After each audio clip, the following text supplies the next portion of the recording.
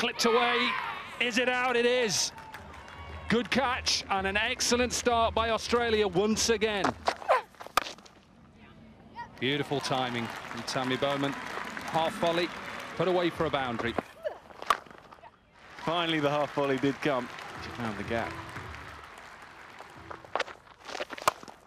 Super shot.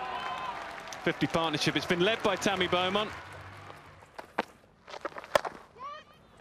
Looking to impose herself on the bowler. She'll pick up four here, a full toss. High in the air. And taken. Heather Knight looking to assert herself on the off spinner.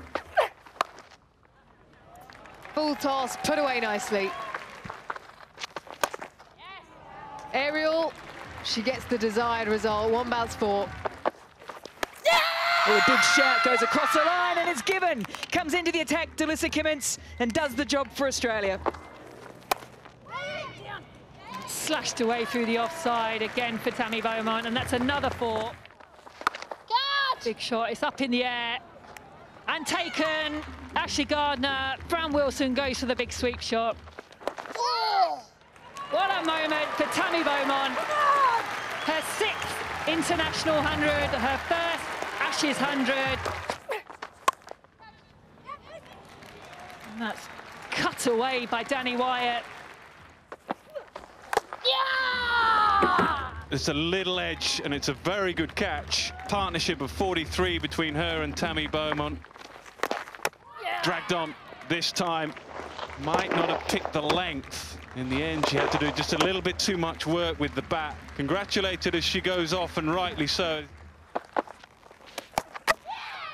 And gone. She's been great behind the stumps today, Alyssa Healy. You've hardly noticed her. And yes, the Australian flag is well and truly being waved. Skied, up in the air. Who wants it? And taken. The shout is catch it. Who wants it? Ash Gardner.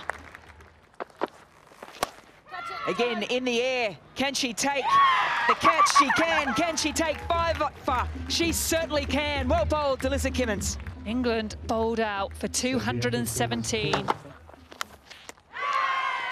have an early one. It is Kate Cross. Bolton goes for one. Australia 11 for one. In the air and gone. That is a massive wicket for England.